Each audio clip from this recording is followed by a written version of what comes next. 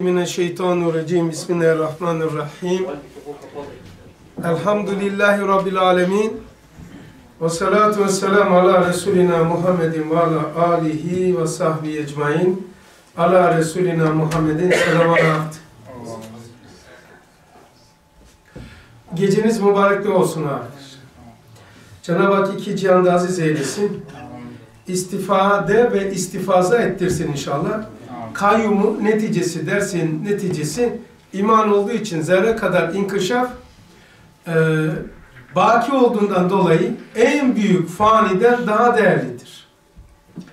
Şimdi İlameyel Aziz, Mesnevi Nuriye'den okuyorum. Bu Mesnevi'yi görmemişsinizdir. Kalın Mesnevi. Bana bir kitap verecekti işte onu verebilirsin. Hatırladın? Ha evet sana bir kitap borcumuz var. Ama bu e, bunun biraz zor çalışılmış üzerine. Evet sana bir kitap borcum var. Neydi onu söyle e, söylenmişti bunu diyebilen senin o mesele? Bir şey demiştim sormuş. Peygamberlere verilen şey, Nasıl? peygamberlere verilen işte en büyük özellik nedir? Evet, Mucize demişti. evet. Mucizedir, ilim değildir. İlem, ey kardeş bil ki batın yani dört tane şey bir çekirdek çekirdek iki meyve üç ağacın görünüşü dört ağacın görünmeyen makine tarafı. Çekirdeğe evvel meyveye ahir ismi Cenab-ı Hakk'ın huvel evveluhu vel ahiruhu ağacın neticesi olan meyve ve zahiru ağacın zahirisi ve batinuhu o gözüken ağacın, kocaman ağacın arka tarafta bizim görmediğimiz makina yani sistemi çalışması, programı. Buna da batın deniliyor. Tamam bu çok önemli şimdi bu konumuzla alakalı. Diyor ki batın yani gözüken ağacın gözükmeyen tarafı zahirden şuurca daha ağla ve etem olduğuna ve hayatça daha kavi, daha müzeyyen, daha bilgili, daha mükemmel, daha güzel, daha latif bulunduğuna yani şimdi bu ağaç gözüküyor ya ağaç bize gözüken tarafı. Mesela elma dişe vurmuş, koku dişe vurmuş, yaprak dişe vurmuş, rengi dişe vurmuş, bize tarafı. Ama bunun dişe vurabilmesi için batının arka tarafın bundan daha mükemmel bir işlevi olması lazım ki dışarıya vursun. Neticede odundur da. Evet neticesi odundur. Ama öyle bir sistem çalışıyor ki arkada odun dediğimizin üzerinde öyle bir sanat, öyle bir işlev cereyan ediyor ki insanoğlu değil çalıştırması anlamasından aciz. Odun olmadığı kesin. Odun olmadığı kesin evet. Diyor ki zahirde bu gözüküyor hayat. Yani ağacın yaprağı, dalı, budağı büyüyor yani. Ee, zahiri bu, görünüşü bu. Batınısının batınısı bundan daha harika ki dışa vuruşu bu. Hayatça daha kavi sağlam, içerisi daha müzeyyen. Mesela şöyle diyeyim. Odun düşünün. Odun, görünüşte odundur. Ama biliyoruz ki içi nur var, ışık var. Odunu yaktığımız zaman odundan duman da çıkar, nur da çıkar, çıkar, ısı da çıkar, ışık da çıkar, enerji de çıkıyor. Bir sürü şeyler çıkıyor. Peki zahirde oduna baktığımız zaman odunu yakmasak içinde bunların olduğunu nereden bileceğiz? Bilebilir miyiz yani? Duman da var, nur da var. İki tane zıt unsur. Demek ki e, biz zahirde şu Allah'ın sanatını, mevcudatını seyrederken böyle ağacı seyreder gibi görüyoruz ama arkayı bilmiyoruz. Arka daha mükemmel, daha muzeyyen, daha bilgili, daha güzel, daha latif olduğuna. Mesela odun kilosu var. Ama odunu yaktığımız zaman ondan kilo çıkmıyor. Enerji çıkıp gidiyor.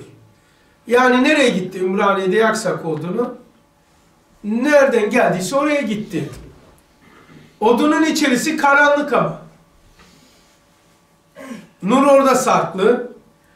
Bu gösteriyor ki diyor zahirin üstünde görünen hayat yani ağaçta gözüken hayat orada gözüken şuur eseri kemal emsali gibi şeyler ise ancak batından gelen zayıf bir tereşü olmasına. Ha, demek ki dışarıda gözüken hayat var şuur var kemalat var. Mükemmel bir sistem var ağaç. O zaman bu batının yani gö görmediğimizin, şimdi bunu bir yere götürecek, ağaçtan örnek veriyor. Arka tarafının gözükenden daha mükemmel olduğunu gösteriyor. Çünkü zahirde ağaç gözüküyor ama hayat gözükmüyor. Ama hayatlı. Bak gözükmüyor fakat canlı. Mesela zamanım yok diyoruz. Falan saatte geleceğim diyoruz. Zaman geçti diyor. Zaman hep kullanırız. Ama zamanı gören yoktur. Bir Allah'ın kulu da zaman zamanı gören var mı diye sormuyor. Var mı zamanı gören? Gecesi yok, gündüzü yok, sağ yok, solu yok. Kışı yok, yazı yok. Zaman. Zamanın iç üstüne bilmişiz. Hadiseleri evelip devilip çeviriyor. Zaman. Zaman hep yaşıyoruz. Az zamanım kaldı diyorsun. Zaman bir şey kalmadı. Peki gören var mı? Yani gözüken bizim hareketler. Gözükmeyen zaman. Gözüken ağaç. Ama gözükmeyen bakın hayat var orada. Çünkü hayatın alameti var. Yaprak canlı, ağaç uyuyor. Şuur var, şuur. Yani onu yapan, ortaya çıkaran, yani dışarıya çıkan bir sistem var. İnsanoğlu ağaca bakarak veya işte kainata kütüphanesini yazmış. Şuurlanmış. E, baktığı yer bu insanı şuurlandırıyorsa e, bunu yazan zat yani arka tarafı kuran zat şuursuz olur mu? Yani bana hayatı veren kendisi hayatsız. Bana gözü veren kendisi kör gibi. İşte burada şeyi gösteriyor. Diyor ki ağacı bunu görüyor musunuz? Görüyorsunuz. Hayat var mı kardeşim? Var. Şuur var mı? Var. Kemalat var mı? Her şey mükemmele gidiyor mu? Tamam. Bu gözükense, bu dışa vuruysa elbette ki batın ölü ölü değildir. Şuursuz değildir. Ne kadar mükemmel ki dışa vuruşu buysa dünya da böyledir, insan da böyledir. Şu anda zahirde görünüş iki tane senin sen de benim gibi gözüm var. Burnun aynı yerde benimle. Kulağımız aynı yerde. Zahirde bir farklılığımız yok. Ama içeriye gir bakalım. İçeriden ne fırtınalar esiyor. Bak zahirde aynı. Böyle otobüs bakıyorsun öyle. Fakat içerisi üf duman duman kar tipi yağıyor. Esiyor esiyor. İç alem değil. Neler oluyor? Ne kadar fırtınalar var. Batın ise ölü ve camit olup da zahiri hayatlar ve şürkar bir surette semer vermiş olduğuna, o şey olmadığına delil budur ki, şimdi örnek verecek, ben ağacı ben verdim, kendisi örnek verecek. Senin karnın, karnımızın içi, evinden daha mükemmeldir. Evini hayal mutfak var, yatak odası var, su tesisatı var, elektrik tesisatı var. Evini düşün, bir de karnını düşün. Başka örnek veriyor bak şimdi. Cildin, cildin elbisenden daha güzel dokunmuştur. Şu elbiseye bak, bir de buna bak. Bu yırtıldığı zaman yırtılmıştır. Kimse dikemez. Bu yırtıldığı zaman dikiliyor ve canlıdır. Arasındaki fark sonsuzdur. Canlı ve cansız.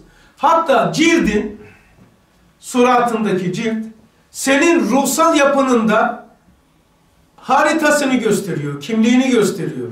Sima neyse, için neyse, sima şu, siretini gösteriyor. Siret ahlak, huyunu gösteriyor. Mesela Bakıyorsun adamın suratına biraz anlıyorsan bu adam anlıyorsun ki bu sözünün, davranışın eri değil ya. Şimdi kıyas ediyor diyor ki midenle, şey karnınla, karnını düşün, evini kıyas et, gömleğinle derini kıyas et. Daha mükemmel değil mi ya? Ve kuvve-i hafızan, insanın hafızası, yazdığı kitaptan nakışça daha etemdir. Yani mesela sen kitaba döktün. Nereden döktün? Buradan döktün. Bu kitaba dönüşmüş hali. Şimdi bu kitap senin hafızandan mı daha harika? Değil. Ve daha şu, daha şu cüzi misali, alemi melekut ile alemi şehadeti, alemi gaybi ile dünya ve ahireti kıyas et. Şimdi ağaçtan ben misal verdim. Odundan misal verdim. Odun, zahirde odun. Ama batını, nur var, duman var, ateş var. Ustad karnımızı verdi. Eve kıyas et dedi. Cildinle elbiseni kıyas etti. Ne kadar harika. Dünya da aynı bunun gibidir. Dünya ev gibidir. Gömlek gibidir. Ahiret ise bu gömlek de deri kıyas ettiği gibi ahiretin üzerinde de örtülmüş perdedir işte şu dünya. Yani dünyayı tanımlayan, dünyadaki hayat, şuur, keman, dişa vuruştur, gözükendir. Bunun arka tarafı ahiretin dişe basmasıdır. Hani var ya su basar böyle, dışarıya fışkırır. Bu alemi şehadetteki şu gözüken sistem alemi gaybın dışa vuruşudur. Nasıl ki senin suratın, suretin şu suretin, kalbin, aklın, ruhunun dışa vuruşudur. Derler ya böyle. Allah Allah niye öyle gerginsin? Biraz böyle usta bir doktorsa senin maddi hastalıklarını bile seyreder. Manevi bir insan varsa suratına bakarak senin ruhsal yapını gözüne bakarak da kalbini içini okur. Dışa vuruşudur çünkü. Kalp yani şu gözle beraber göz nedir? Kalbin aynasıdır. Yüz nedir? Ruhun haritasıdır. Anlarsınız sokakta baktığınızda bu adam vallahi söyledikleri doğru ama pek böyle için tutmadı yani. Diyoruz ya Ali. Tutmadı. Yani burada dünya denilen şu sistem dışa vuruştur. Gömlek gibidir, bina gibidir. Ahiret ise gömleğe nispeten deri, eve nispeten karnın gibidir. Zor muydu bilmiyorum. Anlaşıldı mı biraz böyle? Yani dışa vuruş, batının dışa vuruşudur. İşte hasretler olsun emmare olan nefislere ki heva ve heves gözüyle baktığı için batını ölü, derinliklerde gizlenmiş, zulmetli ve ürkütücü görüp, zahiri ise onun üstünde hayatlar münis bir şekilde mefruş görüyor. Yani uygulayın bunu. Toprağın altı. Adam ne güzel yaşıyordu. Toprağın içine girdi. Zahir ne oldu? Karanlık bir yere girdi. Oysa onun girmesi içini dışarıya etmek içindi. Çekirdeği biz toprağa niye gömeriz? İçi dışarıya çıksın diye. Başka penseyle çekebilir misiniz? Yani çekirdeğin içindeki ağacı penseyle, tornavida ile alabilir misiniz? Çekirdeğin içini dışarıya taşıyacaksın. Olur. Olmaz. Neyle dışarı çıkaracaksın? Toprak. Peki CD var ya CD bilgisayar. Flash bellek. Bilgisayar olmadan çıplak gözle okuyabilir misin? CD'ye bakıyorsun çıplak gözle. Bu film var, bu ses var, falancalar var, falan mekan var. Çıplak gözle CD okunmaz. Ne lazım? Bilgisayar lazım. Kabak çekirdeği de CD gibidir ya. Kabak çekirdeği ince ya. Si içini bilmiyoruz. Nasıl ki CD'yi bilgisayara takıyorsun, kabak çekirdeğini de toprağa takıyorsun işte. Bilgisayara koyuyoruz ki ekranda gözüksün diye. Çekirdeği de toprağa takıyoruz ki toprağın dışarıyı vursun. Kim okuyacak onu? Toprak okuyacak. Orada okunacak. Hem de canlı olarak gösterecek. Yani CD'deki filmi ekranda cansız. Ama kabak çekirdeğini toprağa okutturduğumuz zaman hayata sebebiyet veriyor. Şimdi kabak çekirdeğini nasıl toprak böyle okuyorsa sen çekirdek misin yani? Çekirdekten daha harika değil misin? Kabak çekirdeğini bile orada bırakmıyor. İçini okuyor toprak. Sen de toprağa girdiğin zaman aynı böyle CD gibi içini dışarıya okutturacaklar işte. Başka bir de neşve nüma oluyor zaten. Başka halinde diriliyorsun. Başka bir yere doğmak için buradan çıkmak gerekiyor bu bedenden. Başka bir yer okuyorum şimdi. Farklı farklı. Sıkılmayasınız diye. İlem.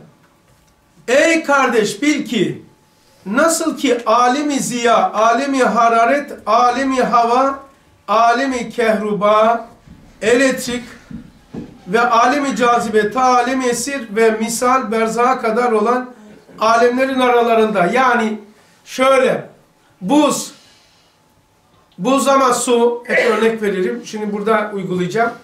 Buz ama su, su ama H2O, H2O ama enerji, esir, maddi hayat, aynı hayat, hayatın cevherleri. Diyor ki, buzda hepsi duruyor. Buz ama sudur değil midir? Su ama hidrojen ve oksijendir. Yani yanıcı ve yakıcı. Hidrojen oksijendir ama ele, enerjidir. Odundan çıkan enerji yok mu böyle? Odun gibi gözüküyor ama yaktığımız zaman kibritle ne oldu? Hani kilosu yok onun. Tipi de yok yani. Bu enerji. Bakın aşağı indik bak. Odun, enerji, biraz daha aşağısı esir. Şimdi diyor ki ustad eşyanın üzerine böyle gömlek gibi giydirilmiş. Atlet, gömlek, kazak gibi. Yani elmada veya ayvada bak koku var. Renk var. Tat var. Şekil. Zevk var. Şeker var. Kimyasal yapı var. Enerji var. Bir sürü özellikler var değil mi canlım? Peki birisi birisini kapatıyor mu? Kapatıyor mu? Yani tat rengi kapatıyor mu? Tat, lezzet birbirini kapatmıyor. Birbirini kapatmadığı gibi şu alemi şahadet denilen şu dünyayı da e, ziya, hararet, alemi hava, alemi kehriba yani çekim yasaları çekiyor, itiyor, elektrik, çekme, cazibe, esir ve alemi misal yani göz, gördüğümüz şu e, suretler alemi misal giydirmiş. Alemi berzaha kadar çok alemlerin aralarında bir muzahamet ve musademe olmadı. Hepsi birbirleriyle ihtilatsız, karışmaksızın senin mekanında seninle beraber içtima ettikleri gibi hiçbiriniz o alemlerden birisinin kendi kardeşi olan diğer bir alimin ona muzamet verdiğine dair bir şikayeti vakı olmadığına şahit ol, olmamış. Yani şu, nasıl ki bir ayva misal verdim, bakın tat var, koku var, renk var, şeker var, kimyasal yapı var, biyolojisi var, var da var. Birbirini kapatıyor mu? Kapatmıyor. Hepsi aynı yerde mi? Aynı yerde. Şimdi bu alemlerde, alemi gaybtaki alemlerde bu alemi şahadetin içerisinde hepsi. Buzdaki su gibi, sudaki hidrojen oksijen gibi birbirine giydirilmiş arkadaşlar. Sarmalamış. Yani mesela su buzun neresindedir? Ahirette dünyanın orasında işte. Şimdi Esma Hüsna'yı düşünün. Esma Hüsna. Çok sorarlar. Esma Hüsna nasıl bir şeydir? Esma Hüsna şudur. Donmuş su nedir? Donmuş buzdur değil mi? Donmuş. Yani su donarsa buz olur. Esma-i Hüsna donarsa şu mevcudat olur ki mevcudattır. Esmayı, Allah'ın isimleri nedir o? Donmuş, buz olmuş. Yani burada ne ipucunu vermeye çalışıyor? Diyor ki şu gördüğüm bir ayvada birbirini sarmalamış, birbirini kapatmıyor. Enerjisi, tadı, zevki, şekeri, kimyası, kalorisi, tamam lezzeti, zevki, tadı, kokusu, rengi birbirine giydirilmiş. Görüyor musun bunu? Görüyorsun. İşte 18 bin alemde sende böyle sarmalamış. Şu dünyada sarmalamış. 18 bin alem insanda, ahiret ise dünyada sarmalamış. Birbirinin üzerine bindirilmiş. Ama birbirini kapatmıyor. Aynen onun gibi mümkündür ki şu bizim daracık olan alemi arzimizde pek çok ve geniş olan gayb alemlerinin enva içtima etmesinler. Aa, dünya dünya böyle bir baktığınız zaman bazı şeylerde, filmlerde galaksileri gösteriyorlar ya, kehkeşan galaksileri. Galaksilere göre dünyanın zaten yeri yok yani. Toz bile değil. Bu kadar ufak yer, Üstad 18 için 15. sözde diyor ki, şu dünya kainatın kalbidir diyor. Bütün mahsulat buradan geliyor. Buradan gidiyor. Ve geliyor gidiyor. Bütün mahsulat buraya dökülüyor buradan gidiyor. Yani bir hayal et İbrahim Hocam. Galaksi, Samanyolu, Kehkeşan'ı düşün. Gösteriyorlar değil mi? Dünyanın yeri bile yok yani. Hiç. Hiç ya. Hiç. Ama bütün kainatın merkezi olmuş. Sen de öylesin. Şu dünyaya göre, bak dünya küreye göre 60-70 kilo nesin ki İbrahim Hocam? Hiç. Nasıl ki dü- dünya kainatın kalbi olmuş, insan da 18 bin alemin kalbi böyle. Giydirilmiş. Mesela bak şu elbisede, beden elbisesinde gadap var, hiddet var, rahmet var, merhamet var, vefa var, edep var, akıl var, kalp var, sır var, var da var. 18 bin alemin nümunesi. Nerede? Aynı yerde içtima etmiş. Muzaheme de yok. Yer darlığı yok. İlginç olan ne biliyor musun Hasan abi? Ha. Şimdi sevmek duygusu var ya. Sevmek duygusu. Çocuğunu seversin farklı, eşini seversin farklı. Bütün akrabayı, talukatını hep farklı farklı seversin ama sevmek duygusu aynı yerden çıkıyor ama farklı seviyorsun. Görüyor musun? Yani insana sarmalamış bu. Peki nerede bu duygular? Gadap var, merhamet var, aşk var, lezzet var, zevk var, vefa var. Var değil mi? Nihayetsiz duygu var. Nerede arkadaşlar? Nihayette olan şu bedende. Peki nasıl bu hisler birbirine zıt? Merhamet var, gadap var. İki tane zıt. Kırmak, sevmek. Vermek, almak. İtmek, çekmek. Zıtları cem etmiş. Nasıl toplamış buraya ise? Allah da ahireti dünyaya böyle toplamış. Hem nasıl ki hava, bak örnek veriyor, bizi yürümekten tavik etmediği, hava yürümeye mani mi? Yok yürüyoruz. Su bizi zehaptan gitmekten men etmediği gibi. Su da öyle yürüyoruz. Zor oluyor ama gidiyoruz. Yani hava ve su bizim yürümemize mani değil. Tamam. Cam dahi ziyanın geçmesine mani olmadığı, camdan da güneş geçiyor mu? Geçiyor. Hatta kesif olan şeylerde röntgen şuanın akıl nurunun, melek ruhunun nüfusunu köstekleyemediği gibi. Mesela röntgen var, röntgen. Röntgen. Kim konuşuyor arkadaşlar? Ha. Şimdi ben konuşunca, konuşmayı kesince siz de başlarsınız. Yani ben şimdi konuşuyorum, siz biraz dinleyin. Şimdi röntgen bedeni böyle çekiyor, ta içeriği gösteriyor. Kazak, gömlek mani mi? Mani değil. Ee, sonra akıl nuru, ruhun feyzi, eşyanın içine giriyor. Mesela akıl, eşeğe gidiyor. Ta dünyanın merkezine gidiyor. Burada otururken akılla galaksilere gidiyor. Galaksilere. Oralara gidiyor. Oturduğu yerde. Aklın nuruna bak. Ruhuyla adama diyorsun ki vallahi ben bu adamın ruhu sarmadı bana ya. Yani ben ruhumu sıktı yani. Gerçi şartlar çok güzel de ama sıkılıyor. Ee, bunu engel olmuyor. Anlıyor musunuz? Bakın röntgen senin gömleğin kazan içeriği görmeye mani değil. Akıl ise uzak mani değil. Ruh ise beden mani değil. İçeriği gösteriyor mu? Gösteriyor. Demir de hararetin akmasına, elektriğin cereyanına mal olmadığı gibi. Elektrik. Demire bağlayın. Demire. Demirden elektrik akar mı? Kabloda. Kabloya işte bakır teli, demir. Akıyor. Elektriğin akmasına mani mi? Mani değil. Yarın bak örnek veriyor şimdi bir şey bina edecek buna.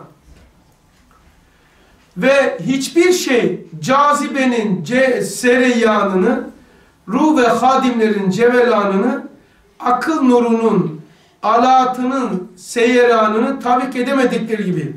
Hiçbir şey mesela çekme kanunu. Dünya mesela güneşin etrafına dönüyor.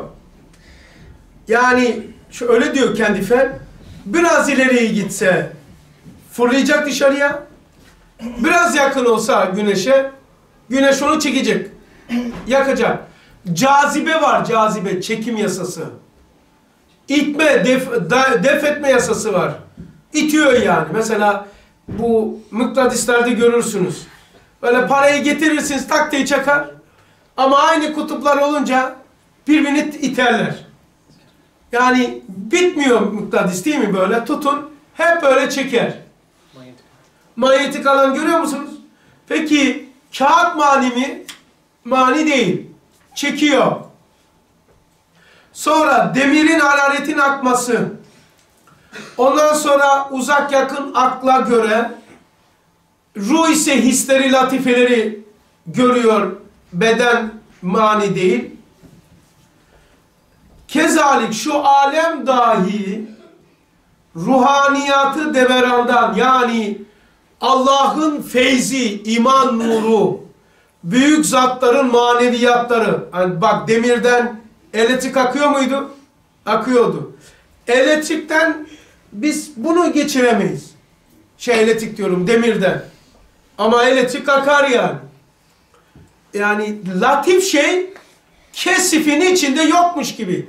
Camın içinden güneş geçiyor. Ama mermi artarsan cam kırılır. Bak mani değil. Ha, aynen öyle de Allah'tan gelen feyiz var ya feyiz, hidayet. Büyük veya birbirimize sirayet. Mesela diyorsun ki vallahi bu adam of be ya. Veya bu adam beni sıktı ya. Sıkıldım bunu görünce. Bir akma var yani. Akma tanımlayamıyoruz ama sirayet var. Sigara içmediğin halde sigara için yanında bulunursan sana sirayet ettiği gibi bir akım var yani. Ya seni itiyor ya seni celbediyor. Ha? Bu sistemden örnek veriyor. Yaşadığımız örnekten veriyor. Diyor ki şu alem dahi diyor. Şu alem, şu dünya ruhaniyatın dever, deverandan cinnileri, cinleri cevelandan şeytanları cereyandan melaikeleri seyerandan men ve tavik edemez. Anladık mı? Cinler, melekler, şeytanlar da eşeğe böyle vurup geçer. Çünkü onların yapıları latiftir. O yüzden mesela bir yemeği akşam koyarken kapatın besmeleyle diyorlar. Hani Evet. ona Giriyor. Besmele mesela yemeği açıkta koymayın diyor. Bulaşık bulaşık tabaklarını öyle açık koymayın. Ya yıkayın ya besmele örtün. Ya nüfus ediyor arkadaşlar 12'den sonra kim ayakta ise mutlaka rahatsız ederler. O iş benim biraz işim. Tevazu yapmayacağım. 12'den sonra, gece 12'den sonra ayakta evde olup hala yatmayanın pek şansı yok. Rahatsız ederler. Rahatsız ederler kardeşim. Nasıl yansıyacak sana? İlla akşam değil. Rahatsız edildiğin alan canın sıkılacak, dayanamıyorsun. Sohbet yerlerinde rahatsız oluyorsun. Böyle bir 45 dakika duramazsın. Niye duramıyorsun? Birisi durdurmuyor. Canın sıkılmış. Yani bu ruhun, imanın gıdası olan ruhunun ya rahatlama dersi seni sıkıyorsa bak bu ders, bu sohbet ruhun rahatlaması. Bu eğer bizi sıkıyorsa ruhumuz kardeşim rahatsız ediliyor demektir.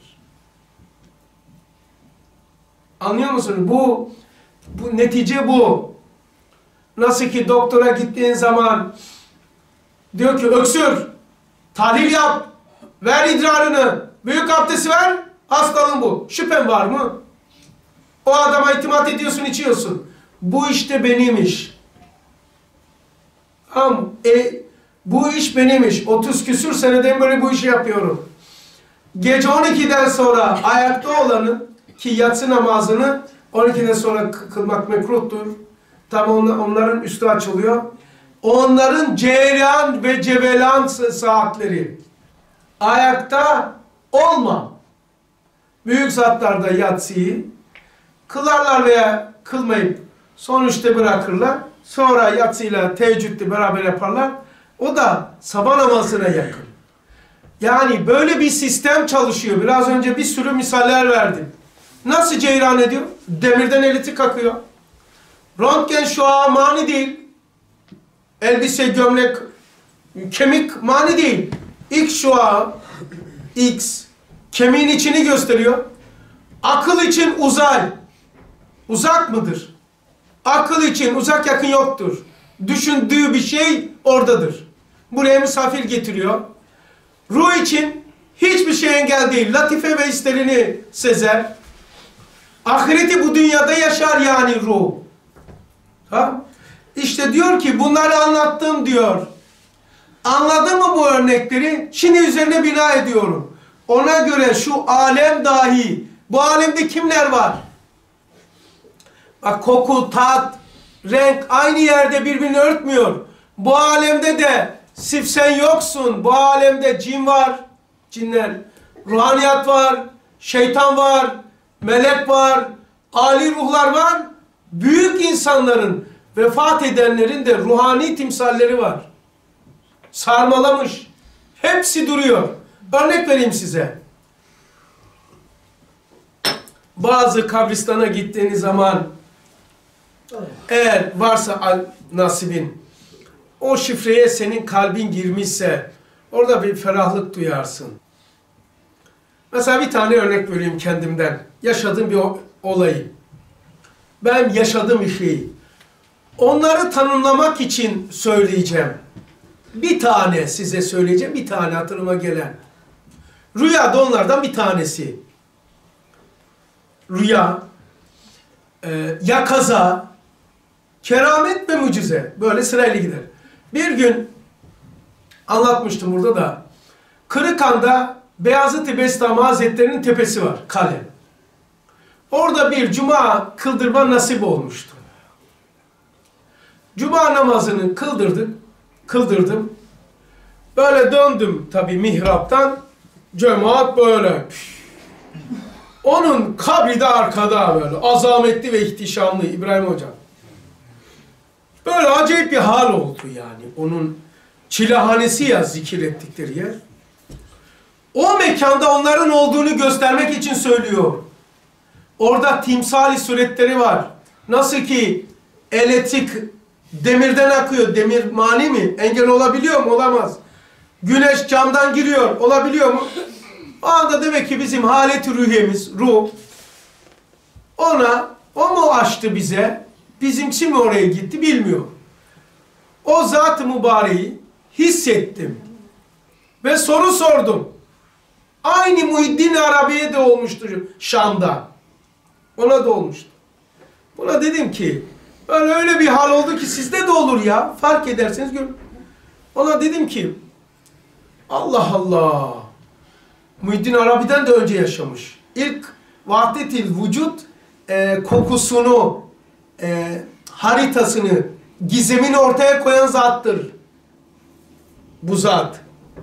Tamam Dedim ki At Ataman ya siz niye bu kadar büyüksünüz ya? Niye tarih sizi söküp atamadı, unutturmadı? Senin zamanında o kadar büyük insanlar, o kadar kariyer ve zengin olanlar var ki. Ama hiçbirisi, hiçbirisi yok. Siz niçin böyle bu çile, şehirden çıkmışsın dedim. Çileye girmişsin ama insanlara nümeni imtisal oldu. Yani kaçmışsın ama ta kaç asır sonra insanlara bu kaçış, bu yaşantın örnek ve model olmuş. Üstad bile Risale'yi almış, Risale geçiyor. Yazıyor evet. Beyazıt-ı Bestami. Evet. Dedim ki koca ustad niye büyüksünüz dedim İbrahim hocam. Niye büyüksünüz? Allahu alem o andaki kalbime verdiği cevap şu. Dedi ki sizin için büyük olanlar bizim için hiç büyük olamadığı için biz büyük olduk. Sizin için büyük olanlar bizim için hiç büyük olmadığı için biz büyük olduk. Yani bedenden sıyrılmış. Hiç olmuş. Evet. Hiç olmuş. Hep olmuş. Hiç olunca hep olmuş. Dikkat et. Kaçmış. Şehirden kaçmış ve çilehane orası. Gizlendiği yer ayağın oldu. Allah için gizlediğiniz öyle bir zaman gelecek ki Allah onu insanlara ruhlarını inşa etme malzeme yapacak. Örnek çıkartacaktır. Allah hiçbir şey gizlemiyor. Açık yaptığımız şeyleri Allah gizliyor. Hiç kimseye faydası olmuyor. Allah için gizlediğin bir şeyi insanlara malzeme oluyor. Allah merak etme. Gizle, hafa turabında mahfi kalsın ki ne şu nema bulsun der. Gizlenilen bir şeyi mutlaka Allah dışarıya çıkarıyor. Dışarıya çıkanı da Allah mutlaka örtüyor. Kaybolup gidiyor. Ve öyle yaşadı ki hayatlara malzeme olmuş. Burada neyi anlatmaya çalışıyorum? Burada kaldığımız evde, bu temelde birbirine daha önce ta dünya kuruluşundan kıyamete kadar ne bindirilmişse o boyut duruyor burada. Amudu Nurani. Bir bir üzerine bindirilmiş arkadaşlar. Hani buzda su, H2O, enerji, esir, madde hayat, ayvada da böyle gösterdim ya, renktir, tattır vesaire birbirine bindirilmiş. Bu alem dahi ruhaniyat bindirilmiş. Cinniler bindirilmiş. Şeytanlar bindirilmiş. Melaikeler bindirilmiş. Hiçbirisi birisine mani değil. Mesela bindirilmişi kafadan hepimizin yaşadığı misal vereyim. Şu kafayı görüyor musunuz? Dünya gibi düşünün. Şu kafa keman dünya. Bu kafada vehim, evham, panik, panik atak, doğrular, yanlışlar, zanlar, malumatlar, bilgiler, mekanlar, sesler, suretler, kokular, tatlar hepsi burada değil mi? Muzami var mı? Yer darlığı var mı? Hep aynı yerde bindirilmiş. Vakti geldiği zaman bir tanesi aktif oluyor. Sen de kendini mutlu veya korkunç, dehşetli hissediyorsun. Yani ne ararsın Şam Buhara'da? Hakikati kendinde ara. Kendini kötü hissediyorsan onlar aktif. Senin dünyanı cehenneme döndürüyor. Veya cennete dönüyor. Burada kardeşim hepsi burada. Hepsi burada bindirilmiş. Bindirilmiş. Diyor bak ne diyor? Yani bu cazibeler, elektrikler, röntgen şuarları, aklın nuru, ruhun latifesi nasıl böyle aynı yerde nüfus etmiş, birbirine geçişler oluyor. İnsan da böyle. İnsan olmak kolay değil biliyor musunuz? Aynı samet olmak zordur. Makamdır. Ya. İnsan olmak makamdır. Evet yani şöyle bir paket düşünün zıtların toplamı. Zıtlar beşer deniliyor beşer. Beşer, şerlerle dolu şerlerle. Bu kutudan şerlerle hayırları ne kadar sıyırırsak o nispette insanız. Beşeriyetten insanlığa döneceğiz. Onun için peygamberlerin vazifesi bizi beşeriyetten insanlık makamına çıkarmaktır. O nispette rahat ediyoruz. Hadiseler nedir? Hani sık böyle çekirdeğin etrafında toprak, hava, su, güneş cem olmuş ya, sıkmış ya çekirdeği. Niye toprağın altında çekirdeği kızıyor böyle? Çekirdeğin içi patlasın diye. Kafamızdakiler de patlasın diye hadiseler öyle vazife yapıyor. Başka bir yer okuyayım. İlem ey kardeş bil ki bu da çok önemli. Ben tahtel arz zulümatındaki seyahatinde katiyen müşahede ettim ki yani dünya dünya bu görüntünün arkasına geçtim. Şimdi biz de bu seyahati ustadın ustadın seyahatini seyredeceğiz. Buraya gireceğiz. Bakalım neler varmış burada. Yani nasıl insan mutlu olur onu anlatacak. Sıkıntı onu seçtim bilerek seçtim bakın koca kitaptan size seçtim ki belki bir faydam olsun böyle hem kendime hem size sıkıntılarımızın çözümünde niçin sıkıntı oluyor? İlaç içmek bunun çaresi değil sevgili kardeşim. İnsanlık inim inim inliyor. İlaç bedenseldir ama senin sıkıntın ruhsaldır. Psikoloji ne demek? Psiko, ruh demek. Loji, ruh ilmi demek. Psikolojin bozuk diyorsun, hapı da bedene içiriyorsun. Beden bozuk değil ki. Kolun kırık, kola ilaç yaparsın. Gözün ağrıyor, kaşınıyor, göze damla damlatırsın. Kulağın kaşınıyor, damla yaparsın. Psikolojin bozuk demek. Hangi organ bozuldu söyler misin bana? Hangi organ bozuldu Ataman? İçsel alem ruh. Yok ki öyle. Peki ilacı nereye verdin? E bedene verdin. Beden bozuk demiyorsun ki ruh bozuk diyorsun. Uyuşturuyor işte, donduruyor da. E o zaman bu dersi dinleyin, dinleyin, ciddi dinleyin. Şu anda sıkıntımızın çözümüne ait bir paragraf okuyacağım ve geçeceğim. Ben bak ne kadar nasıl okudum, hayatımın felsefesini yaptım. Nasıl kendini kontrol ediyorsun, duygularını, fikirlerini, isterini sonra inim inim inliyoruz. İnim inim inliyoruz. Ya sen, ya çoluk çocuğun vesaire. Yardım da edemiyoruz. Bir şey de yapamıyoruz. Sonra arıyorsun ama bulamıyorsun da. Bak, sıkıntının çözümü. Sen uzaktan o kadar Ali sen misin? Ali. Ali nerede? Ha orada. Ha o. O da oradan da gün geldi. Orada da. Burada da Ali vardı bir tane. Ali değil misin? Hepimiz Ali'yiz abi. Ha? Hepimiz Ali'yiz burada. Ha tamam seni diyorum. Ama öteki Ali burada ne? Allah Allah. Bak o zaman. Şu paragraf çok önemli Ali şu anda. Çok fazla üzerine durdum. Şu anda okuyacağım. Ne yapmamız lazım? İlem, eyyel, ey kardeşim ben tahtel ar zulümatında şu dünyada zulümat sahipsiz dolaşırken seyahat ederken katiyen müşahede ettim ki sünnet-i seniyenin her birisi birer yıldız, birer lambadırlardır gördüm. Bak şimdi sünnet-i seniye zannediliyoruz ki bir insanın, bir erkeğin, bir belirli zamanda, belirli mekanda yaşayan bir zatın hareketleri, tavırları, konuşmalarıymış. Değildir. Eğer öyle olsaydı erkektir. Kadınlar rehber edemez. 1400 sene önceydi. Şimdi nasıl rehber olur? Sosyal yapı, psikolojik yapı, her şey değişmiş. İnsanda hiç mi terakki yok? E, Allah'ın kanunu aynı asırda farklı toplumlara farklı peygamber göndermiş. Asırlar değiştikçe peygamber de değişmiş, kitap değişmiş. Bu insanın hayatı ve getirdiği kitap nasıl her asırda rehber olabiliyor? Bak şimdi.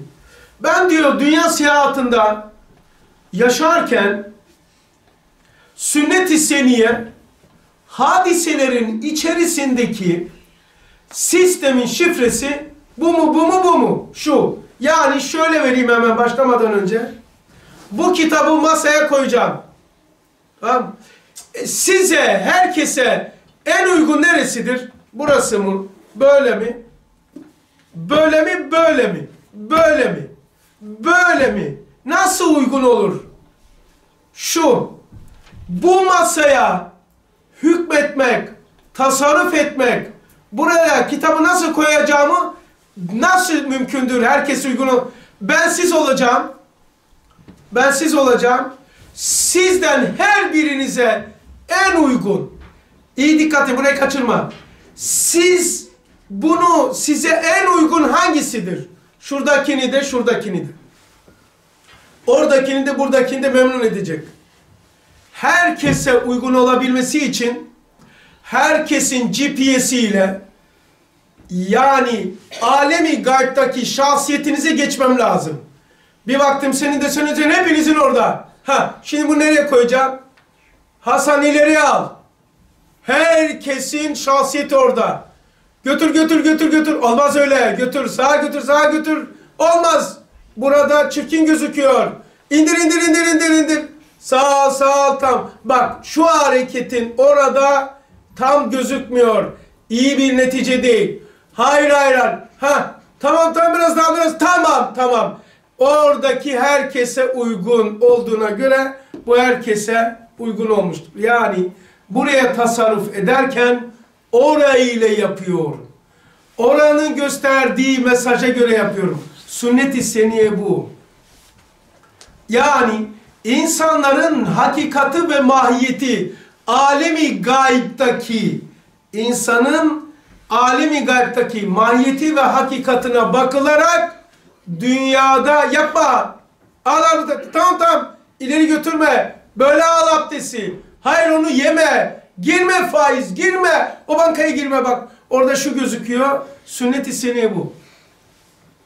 İnsanların insanların hakikatını ötelere göre ayarlama yöntemidir sünnet-i seniye. Gemiler düşünün. Eskide gemi kervanlar seyahat ederdi. Gece neyle ederlerdi? Yıldızlara göre yaparlarmış. İşte bunlar lamba gibidir. Böylece bütün sünnetler ve umum şeriatler yani sünnetler ve hak var hak. Yap, yapma, de, deme, ver, verme. Bütün sünnet-i seniyeler, bak bunu okuyayım kesiyorum. Bütün sünnet-i seniyeler ve hadler yani haddini belirleyen haram ve helaller hasra gelmeyen dalaletli, karanlıklı yollar içinde birer lüküs gibi parlıyorlardı. Mesela düşünün eskide köyler arası bilirsiniz sokak lambaları yok. Öyle lüküs veya lamba fener yaparlardı. Tamam bilirsiniz sizde de vardı. Bizde de böyle fenerler vardı. Gaz lambaları. O zulmet içinde o ne kadar timyaydı. Bazen biz çocuktuk genç. Dereye giderdik balık tutmaya gece zifiri. Lambamız sönerdi. Hepsi bitti. Olduğun yerde kalıyorsun. Nereye hareket edeceksin? Taşların içinde. Ve o halde sünnetten inhiraf etmek demek şeytanın oyuncağı, evhamın merkebi, korkunç dehşetli hallerin marizi, dağ gibi ağır yüklerin hamalı olmak demektir bildim. Sünnetten inhiraf etmek. Niye bunu aldım? Niye evimizde huzur yok? Niye çıldırıyorum? Niçin kendimi kontrol edemiyorum? Niye evham ve vesveseden çıkamıyorum? Bakın altına sünnet-i seniye yok ondan.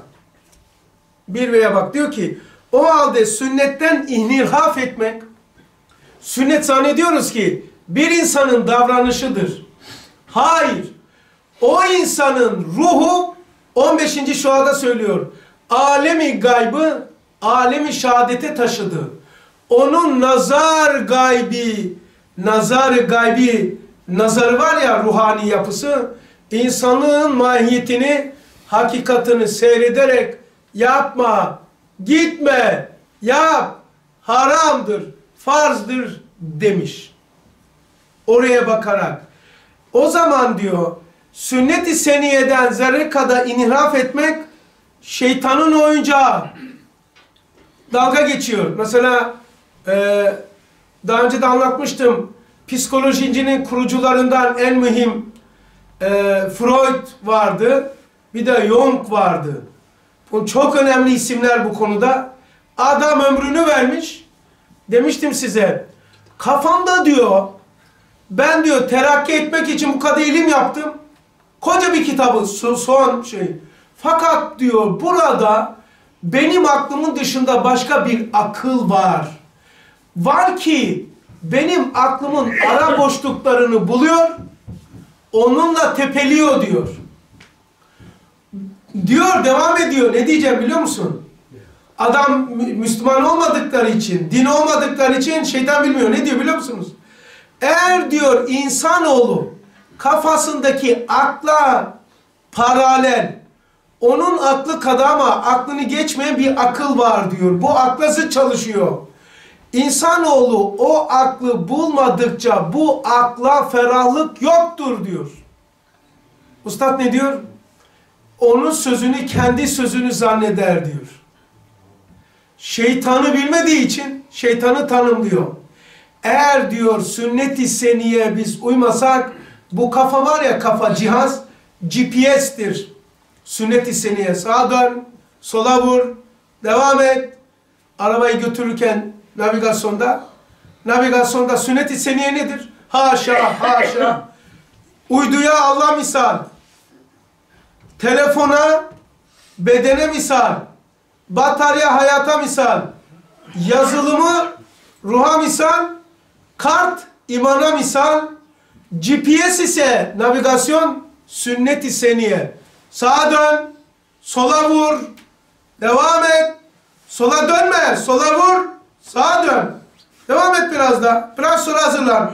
Sağa geç diyor. 2 200 metre sonra. Peki şüphe ediyor musun bunu söylediğinde? Ona insanoğlunun yaptığı şeyden şüphe etmiyorsun da. Bu arabayla gidiyorsun. Acaba yanlış göstermesin deme, demiyorsun da. İnsanın fıtratını tanımlayan Resulullah Aleyhisselatü Vesselam'ın GPS'inden nasıl şüphe ediyorsun? Fıtrat sana gösteriyor. Mesela bak diyor ki sağa dön. 200 metre sonra sağa döneceksin. Acaba sokak var mı? Var diyor. Senin peki navigasyonu ne diyor? Beka var diyor. Evet arzusu var sende. Yok mu? Bu istekler de GPS'tir. Ahirete göre yönlenmiş. Bir anda her yerde olacak alem var diyor. Nerede biliyorsun sende var. Her her istediğin olacak. Böyle bir yere dönüyorsun. Devam et. Bunu yapma diyor. Vicdan diyor ki yapma. Dönme bu yoldan. Tamam? Yani içimizdeki sistem var ya istekler, elemler, istediklerimiz, istemediklerimiz. Navigasyonun da bizden istedikleri gibidir. Navigasyon diyor ya 200 metre sonra sağa döneceksin. Devam et diyor. Ha insanın fıtratının da gösterdiği yerden şüphe etme. İnsan ebedi gösteriyor, sonsuzu gösteriyor. Sünnet-i seniye de bu telefonla uydu arasındaki sağlam bir bağın adıdır. Bazen kesilirse yeniden hesaplanıyor diyor. Eğer çekim masası, eğer çekme yoksa kaldın. Neresi? Bizde öyle olmuştu Bulgaristan'da. Bir baktık taktiği, pili bitti. Hadi bakalım ne yapacaksın? Ve Almanya Türkiye'den çok geridir o konuda. Bu şey e, kontur, internet. İnternet çok düşük. 2 GB'ı bilmem 15-20 euro. E, Bizde şeyimiz bitti.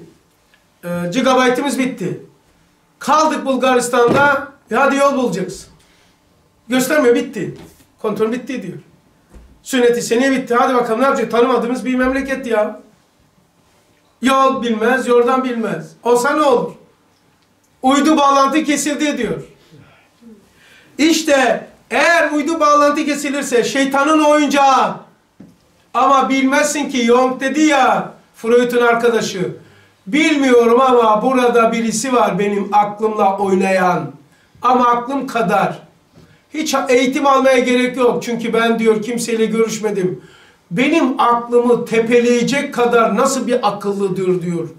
Onu tespit etmedikçe insanoğluna rahatlık yoktur diyor adam. İşte diyor ki bak şeytanın oyuncağı keşke bu dersi bilseydi o. Evhamın merkebi. Mesela içimden şu geldi kendimi kötü hissediyorum. iyi değilim. Yatamıyorum. Türlü türlü şeyler geliyor ya. Kafamı yiyor ya. İçinde kimler var ya? Seslere bak. Suretlere bak. Allah Allah kimler var ya? Bu kim? Evhamın merkebi. Merkep eşek ya. Evham ev, evham merkep olmuş. Bindirdi seni. Korkunç, dehşetli hallerin marizi. Korkunç haller var.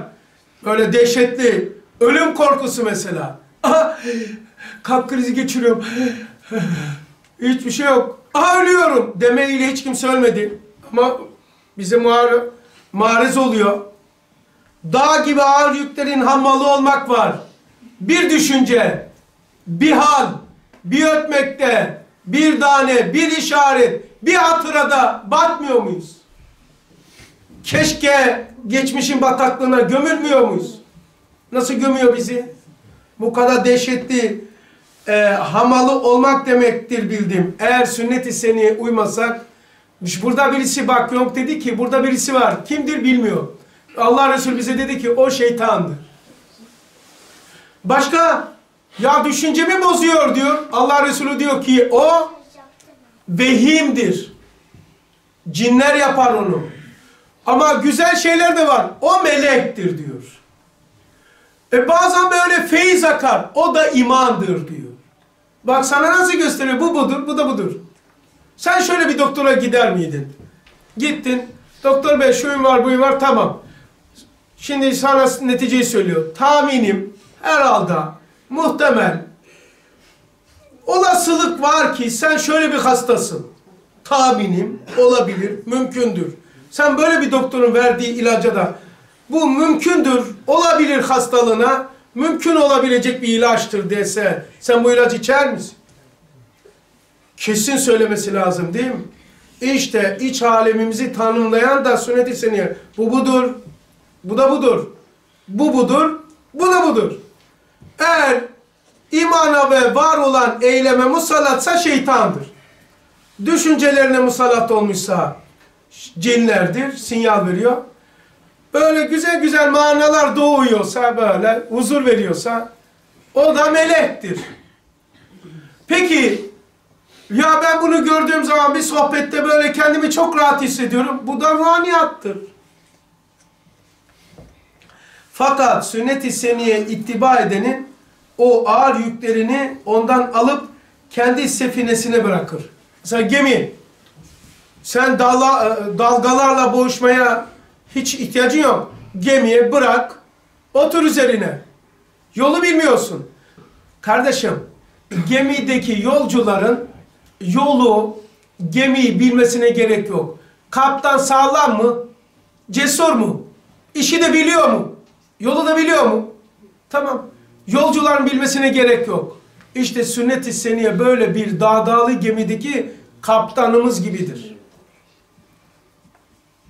Onu Filistin kurtuluşunda Şeyh Yasin var ya belden aşağı felç idi yapmıştı İsrail atmış sonra da belden aşağı yok olan adama bile e, helikopterle gene yok ettiler. Onun sözüdür.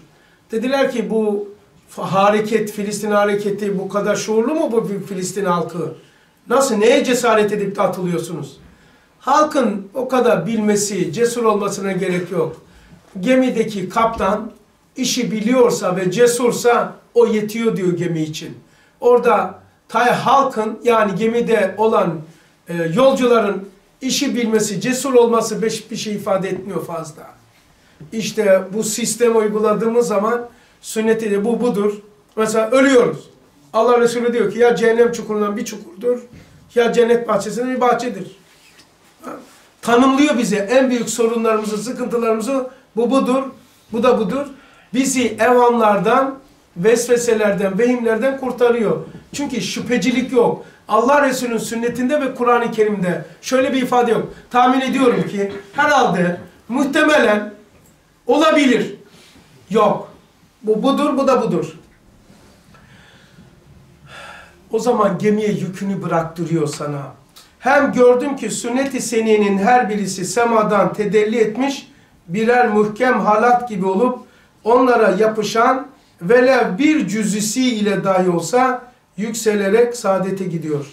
Hem gördüm ki insanların zahiri efalleri arasında ancak bir derece dolaşabilen aklına itimat edip yani ne olacak şu akıl zaman mekanla yaşa göre devamlı değişken bir atlar nasıl bineceksin? Neyi bindiriyorsun? Yani bu kabire nasıl gideceksin bunlar? İkide bir değişen bir akıl var. Öğrendiği zaman yükseliyor. Dün ne kadar doğrularımız vardı bugün yanlış olmuş. İşte bu akla nasıl itimat edeceksin? Benim aklım yeter deyip sünnet-i seniyeden yüz mü çeviriyorlar diyor. Var ya 25. sözde em em em emlerde. Yani akıl ikide bir değişken değil mi ya? Bu akıl sebep sonuç ilişkilerinde mevcudatla ilişki ve çelişkilerin arasında bir cihazdır. Kabir ve sonrasını çözemezsin ki. Kimya ile matematikte kabir sonrası çözülür mü? Nasıl çözeceksin? Yani itimat edip sünnet-i seni muhalefet edenler şuna benzerler ki yerdeki vesile ve merdivenlerle yerdeki vesilelerle merdivenlerle göklerin esrarını öğrenmek için çıkmak isteyen Firavun'un kendi vezirine bana bir kule yap ta ki onunla belki semavatın esrarına giden yollara ulaşayım. Ayetindeki ya hamanu nilli sarhan diyerek ahmaklaştığı gibi ahmaklaşır. Yani bu akıllar nereye gidiyorsun? Bu akıl cihazdır kardeşim. Yani termometre ile basıncı ölçemezsiniz. Barometre ile basıncı ölçersiniz. Termometre ile sen sıcaklık o, için basıncı ölçeceksin. Veya metre sütü ölçüyorsunuz. Süt. E, sütü litreyle ölçeceksin. Kumaşı da metreyle ölçeceksin. Bu akılla ne ölçülüyor, neyi ölçmeye kalkıyorsun? Yani litreyle sütü ölçeceksin, metreyle de kumaşı veya mesafeyi ölçeceksin. E sen şimdi litreyle bu ölçülür mü? Metreyle de suyu ölçüyorsun, metre kübü. Veya doğal gaz geldi, kadar metredir. Metreküptür o gibi. E şimdi bu akılla ve bilgilerimizle neyi nereye kadar ölçeceğiz? Peki. Ve ahir davahum enilhamdülillah rabbil alemin. İbrahim hocam gel abi. Şöyle bize bir aşır oku. أعوذ بالله من الشيطان الرجيم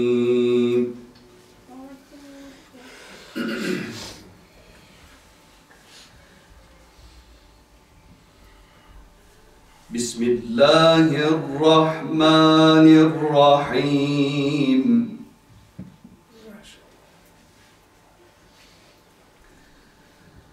ومن الشياطين من يغوصون له ويعملون عملا دون ذلك.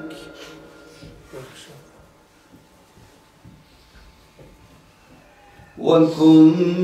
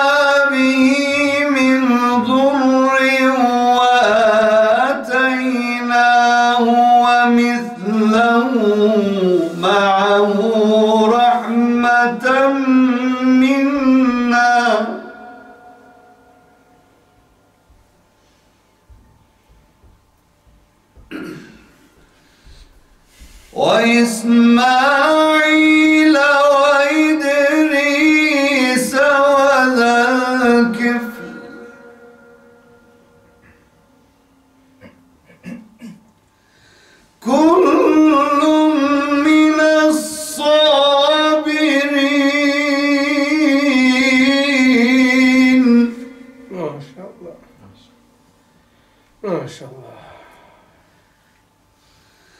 我的魂啊。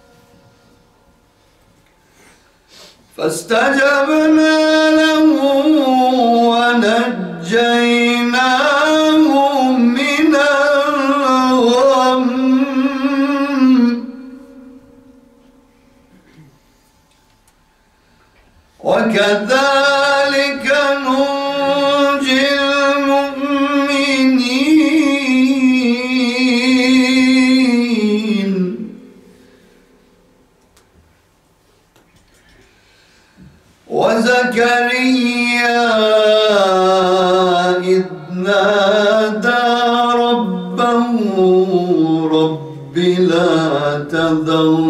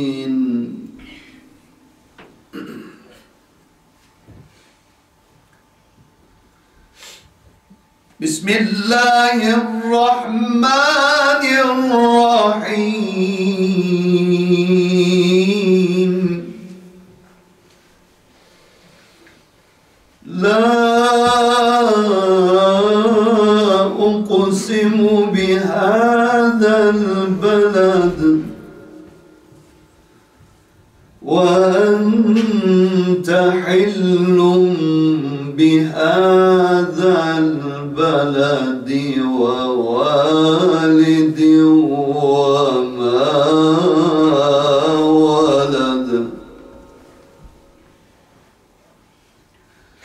لقد خلقنا الإنسان في كبد. أيحسب أن لن يقدر عليه أحد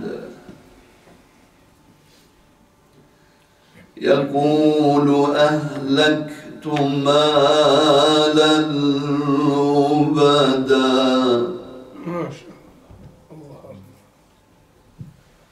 أيحسب أن لم يره أحد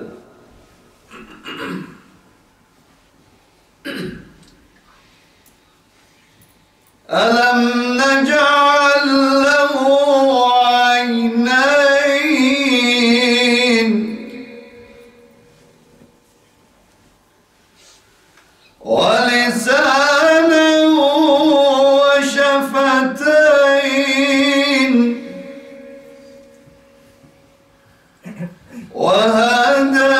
وهديناه النجدين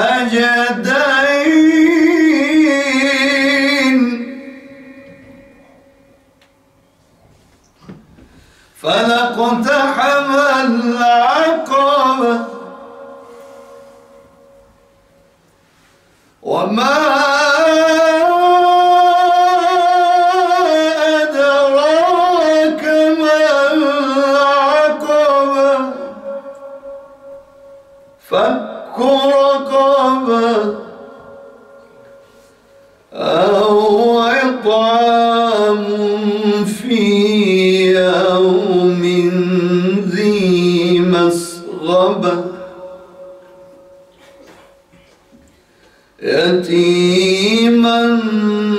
ذا مقربه